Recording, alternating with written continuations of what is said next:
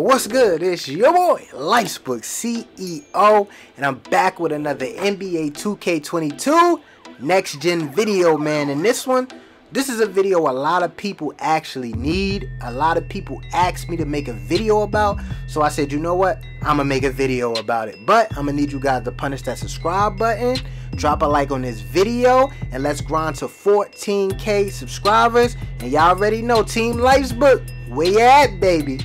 Alright, let's jump into this video right here. So today I'm going to show you how to change your player indicator on NBA 2K22 Next Gen.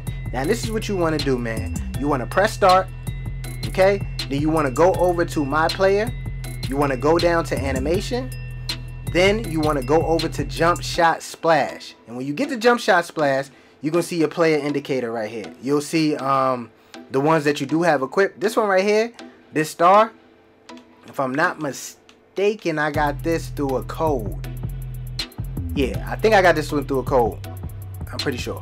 But um, if you do got it, I'm gonna show you exactly, you know what I mean, how to equip it and stuff like that. Okay, so you got your circle one, got your basketball one, flame, and if you got a star, you got a star. If you wanna put it on any one of these, the flame, basketball, circle, or star, what you wanna do is sit on that actual indicator. You feel me? You can edit these indicators too if you want to edit, you go over and you could go change it to orange, you could change it to red, you could change it to blue, you change it to green, yellow, purple, you feel what I'm saying? You do whatever you want. Now, if you want to go over here and change your releases, I'm talking about that lightning effect and all that, you want to hit RT while you are on the indicator you want. So if you're on the flame, you hit RT.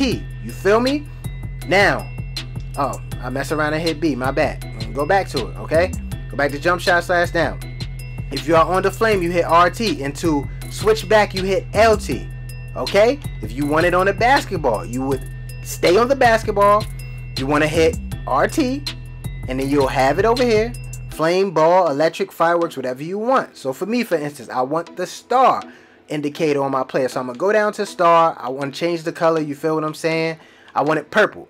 So I'm going to put it on purple, hit RT. And I don't want that flame one right there, right? I want the electric. I want that. You feel me? You can change the effects with it and all that. It's all up to you. But you'll keep it on the effect one right here. Put the sound that you want. And the only thing that you're going to do is hit LT over, hit B out, and now you have that start indicator with the electric. You get what I'm saying? That's all you need to do, man. Short, sweet, and simple. And if you need me to go back through it again, I'll do it one more time. You're going to go to animations. You're going to go over to the jump shot splash. You see how it's still on the star? That means that's the one I have equipped. Okay, bet. I want the flame. So you go to the flame. You want to change the color. Say the red because you hot. You feel what I'm saying? You keep it on the red. Make sure you're stuck on this indicator right here.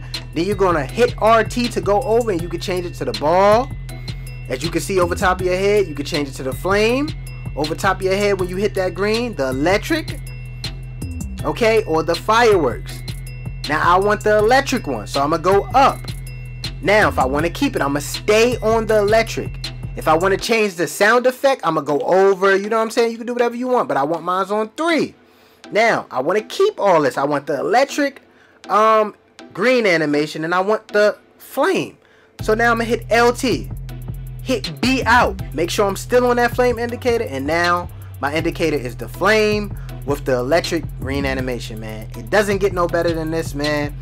This is all you need to do to change your player indicator and the green animation. Just make sure you punish that subscribe button, drop a like on this channel, continue to help me grind to 14k, and Team Lifesbook, where you at?